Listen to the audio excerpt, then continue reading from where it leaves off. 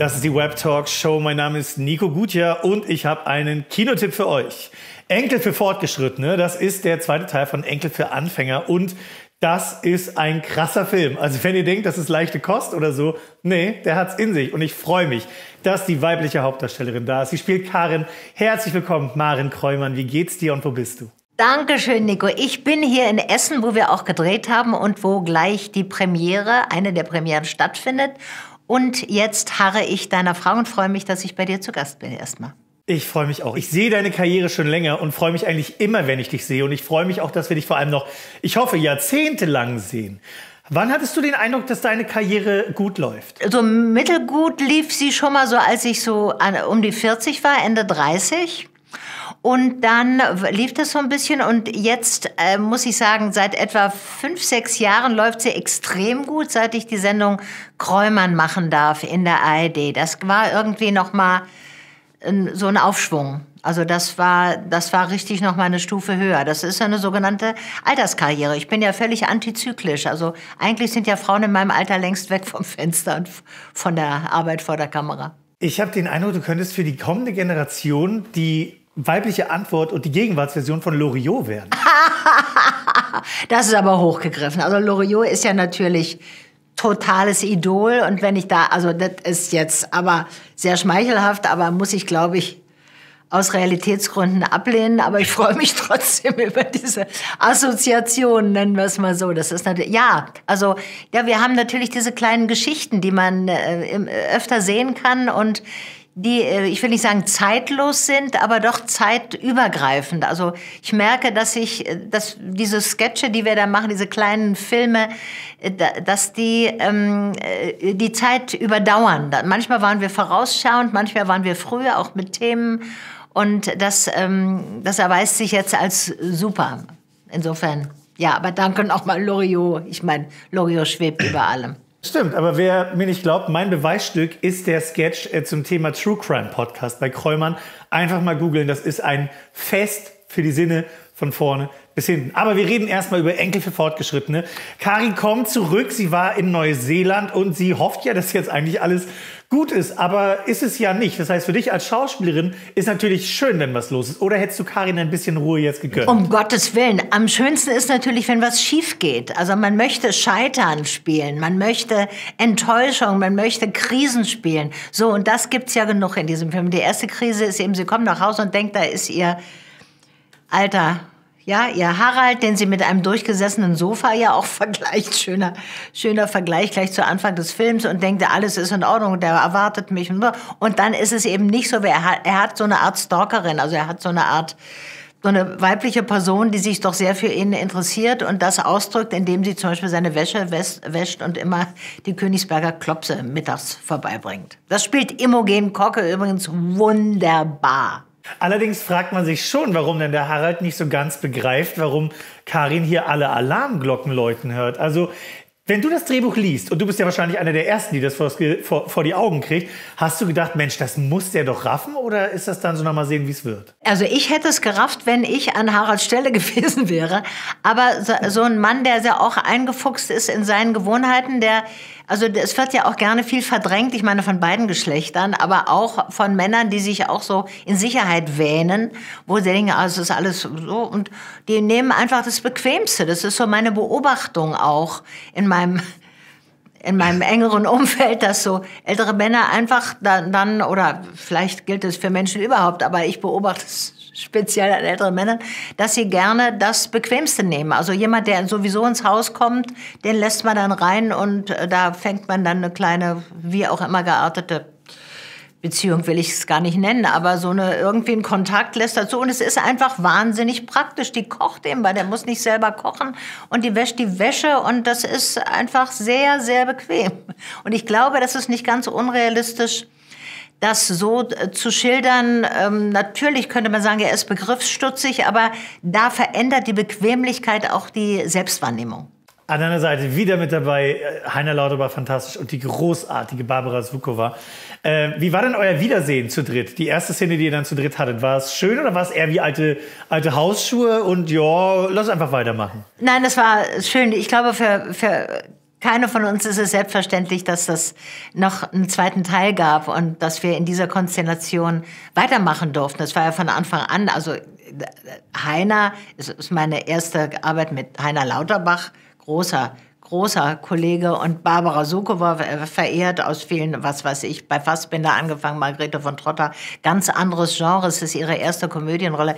Das war, da war ich äh, positiv aufgeregt und begeistert und bezirzt einfach, dass ich, dass ich diese Kollegen hatte und Kollegin.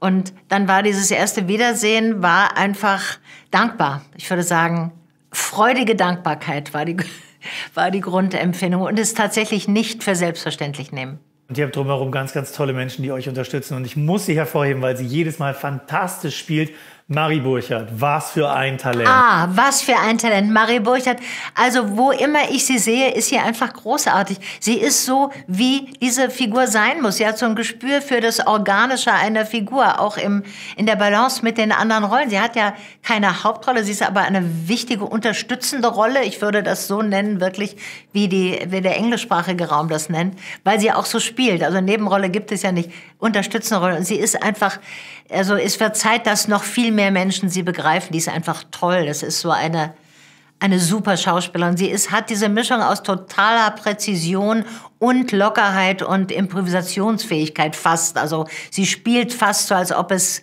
ihr gerade im Moment einfällt. Das ist, äh, ich bin ein totaler Fan von Marie Burchardt.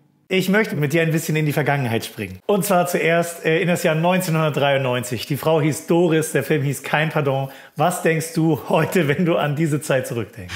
Ach, wunderbar. Ich glaube, das war mein erster Kinofilm. Das war mit Harpe, den ich schon kannte von Radio Bremen. Und das war einfach ein Volltreffer. Dieser Film ist heute immer, das wird mir auch gespiegelt von Menschen, die den jetzt heute in der 25. Wiederholung sehen, dass es so ein Film auch über unsere Branche ist und dass der auch bleibt. Das ist auch so eine, so eine Arbeit, die, die bleibt, weil es so gut beobachtet ist und weil wir alle das kennen, die Redakteure, die sagen, es ist Wahnsinn, es ist Wahnsinn, was wir hier machen und dann Käffchen und so die ganzen, das sind ja äh, Zitate, die fast in die Alltagssprache eingegangen sind bei diesem Film. Und ähm, natürlich Harpe, wunderbar. Also ich liebe ihn ja sehr. Das war einfach eine, also das ist eine Arbeit, die irgendwie Bestand hat.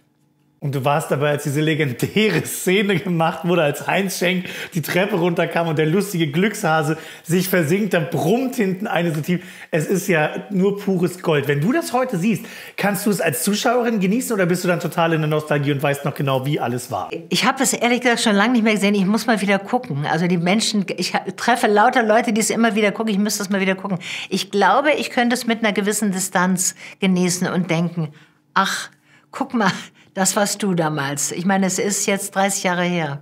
Ja, ich glaube, das würde mir gelingen. Es ist so, es ist so, hat so eine Selbst, äh, so eine Eigendynamik äh, Dynamik entwickelt und ist wie so ein, ja, wie so ein äh, 90-minütiges Zitat. Bisschen wie ein Loriot-Film gealtert. Ja. Ganz gut. 2001 bis 2009 warst du dann Anke Degenhardt bei Mein Leben und ich auch großer Erfolg. Ist diese Familie, die es damals ja war, die wir alle kennengelernt haben, hat diese Familie noch Kontakt im echten Leben, die Schauspieler und Schauspieler, ist sie ein bisschen auseinandergebrochen? Ja, ich habe ähm, Wolke äh, wieder getroffen, also äh, oft bei so Film- oder Fernsehfesten oder bei der Berlinale oder so irgendwelche Empfänge. Da sehen wir uns und sie hat auch mal uns die Freude gemacht, bei Kräumann mitzuspielen, ganz toll. Ebenso Nora Binder, die ich auch wahnsinnig liebe, die damals die Freundin gespielt hat. Und auch Gottfried Vollmer, der meinen Mann gespielt hat, hat war auch schon mal bei Kräumer dabei. Also ich habe schon ein stark ausgeprägtes Familienbewusstsein und möchte die im Grunde äh, immer wieder ähm, um mich rum gruppieren in meinem Leben. Also, und, äh, also meistens ist es gar nicht privat, dass man sich verabredet, weil da kommen immer so viele neue Menschen dazu und das ist, das ist schwierig, den Kontakt so ständig zu halten. Aber ich versuche einfach, berufliche Situationen zu schaffen, wo wir uns wiedersehen, weil das so schön ist. Und jetzt sind ja die Leute so scharf auf Reunions und Comebacks. Und bei meinem Leben und ich, bei so einem großen Erfolg, ist schon irgendwer an dich rangetreten, Maren? Kannst du was sagen? Ja, also Wolke sagte das, als wir uns dann sagten, das muss doch, das muss doch weitergehen, weil wir leben ja alle noch. Das ist der Vorteil, wenn man mit jungen Menschen dreht. Die leben dann auch nach 20 Jahren noch. So, und äh, es gibt uns doch, und man könnte schon ganz gut ähm, jetzt die, ja, 20 Jahre danach spielen könnte, wäre denkbar. Also offiziell ist noch keiner an mich rangetreten, aber Wolke ist, glaube ich, ein, ein Fan von dem Gedanken und mir gefällt er ehrlich gesagt auch gut. Ich glaube, ihr seid zwei Frauen, die man zurzeit gut hört in Deutschland. Vielleicht sagt ihr das mal an ein, zwei Stellen sehr laut. Dann passiert das wahrscheinlich von allein. Könnte sein. Vor kurzem war Annette Frier hier zu Gast und sie hat erzählt, äh, wie schön die Dreharbeiten für Kräumann sind. Und sie sagte aber auch, äh, es ist wirklich harte Arbeit, weil ihr so viel lacht. Und dann habt ihr wohl einen Trick. Ihr, ihr zeigt euch gegenseitig das Heft, sagt, so viele Seiten müssen wir noch schaffen. Reißt dich zusammen. Und manchmal klappt's, aber manchmal auch nicht, ne? Ja, mit Annette, also mit Annette flutscht es ja so mit der Arbeit. Und natürlich, was man sonst nicht machen soll, aber es passiert einfach, dass wir wirklich auch lachen müssen, weil wir uns gegenseitig auch immer noch überraschen, obwohl wir ja wissen, dass wir uns aufeinander verlassen können. Und dann gibt's diese kleinen Kriegs, und wo man sagt, also das kriegen wir heute auch noch im Kasten. Meistens ist es ja, ist die Zeit zu knapp und wir haben ein wahnsinniges Pensum und das kriegt man sowieso nur mit so einem Superprofi wie Annette hin. Aber dann macht man so irgendwie und dann dann, dann kriegen wir es schon, dann kriegen wir es schon hin. Aber es ist tatsächlich diese Mischung aus hochprofessionell und Lockerheit, wenn man sich auch lange kennt. Das ist einfach eine große Freude immer mit, mit Annette. Müssen wir uns eigentlich Sorgen machen, dass du entweder A, erwachsen wirst oder B, in Rente gehst? ich beginne Sätze immer noch mit dem Halbsatz, wenn ich groß bin, möchte ich dann aber so, also ich glaube, Rente, ja, wäre ich ja offiziell. Also ich bin ja 74, ich wäre in Rente, aber ich habe mir vorgenommen, also ich arbeite so lange, bis ich tot umfalle, wobei ich hoffe, dass das sehr, sehr spät sein wird. Und erwachsen werden, da arbeite ich dran und mache auch Fortschritte, aber das dauert auch noch so 20 Jahre. Bis ich dann wirklich sagen kann, jetzt bin ich so groß, dass ich zum Beispiel sage, ich würde gerne noch ich würde irgendwann mal eine kleine Datsche haben und aufs Wasser gucken oder so. Wenn ich groß bin, habe ich da. Ich komme ja nicht mal dazu, irgendwie Grundstücke anzugucken. Ich habe so viel zu tun. Aber so, wenn ich groß bin, so dass den Satz möchte ich mir eigentlich noch lange erhalten. Ich bitte darum. Das heißt, da ist schon noch Luft, wenn jetzt die äh, Enkel für Fortgeschrittene wieder gut ankommen und noch ein, zwei, drei andere Ideen da sind. Würde Karin äh, zurückkehren? Also das kommt immer darauf an, wie, wie gut der Film dann läuft, wie er angenommen wird und so und wie, wie, wie den andere finden. Ähm, also von der Arbeit her total, total. Es ist auch eine echt anständige und kluge Produktionsfirma, Klausen und Putz. Und Wolfgang Groß, unser Regisseur, ist einfach ein Mensch, mit dem man sehr gerne zu tun hat. Ich äh, formuliere es mal so allgemein. Natürlich beim Filmen, weil er ein toll... Ähm, toller, den Überblick besitzender und respektvoller Regisseur ist. Aber er ist auch ein sehr, sehr einfach ein toller Mensch. Und das ist eine Konstellation, die, über die freut man sich ja. Und dann, also wenn dann noch wieder so ein gutes Buch von Robert Löhr kommt, also würde ich, glaube ich, nicht Nein sagen, vorausgesetzt die anderen sind dabei natürlich. Aber das, das hat einfach beide Male wahnsinnig Spaß gemacht und ist so, ist so auf einer guten Basis und es ist klug und so alles, was ich mir eigentlich wünsche für, von einem Projekt, wo ich mitmache. Engel für Fortgeschrittene gibt es jetzt im Kino. Gönnt es euch. Man muss den ersten Teil nicht gesehen haben, um den zweiten sehr hart abzufeiern. Ich wünsche euch da ganz viel Spaß. Und sie ist dabei als Karin Maren-Kreumann in der Web Talkshow. Vielen Dank für deine Zeit. Danke, Nico. Und du hast jetzt noch eine schöne Möglichkeit. Du darfst in deine Kamera sagen, was du noch nie in eine Kamera dieser Welt gesagt hast, aber eigentlich schon immer mal sagen wolltest. Oder einfach etwas, was dir wichtig ist. Du hast aber noch ein paar Sekunden Zeit, darüber nachzudenken. Für euch da draußen gilt, wenn ihr jetzt denkt, huch, die hauptdarstellenden Menschen sind ja ein bisschen älter als ich, interessiert mich das überhaupt? Das hat der Film so, so, so clever gemacht, weil tatsächlich gefühlt jede einzelne Altersgruppe auftaucht. Und vor allem über keine einzige wird sich lächerlich gemacht. Das ist in der Komödie aus Deutschland nicht der Standard. Also, ey, wenn ihr nichts Besseres vorhabt, gönnt euch bitte Engel für Fortgeschrittene. Wir sehen uns wieder zur nächsten Web Talk Show. Mein Name ist Nico Gutjahr und jetzt die heutigen Abschlussworte von Maren Kreumann. Bis dann. Ich finde toll Filme, wo ähm, keiner zerstört wird durch Humor oder durch Satire, aber wo alle sich über alle lustig machen, zum Beispiel, wo man sich selbst auch über das, was man selber vertritt, lustig macht.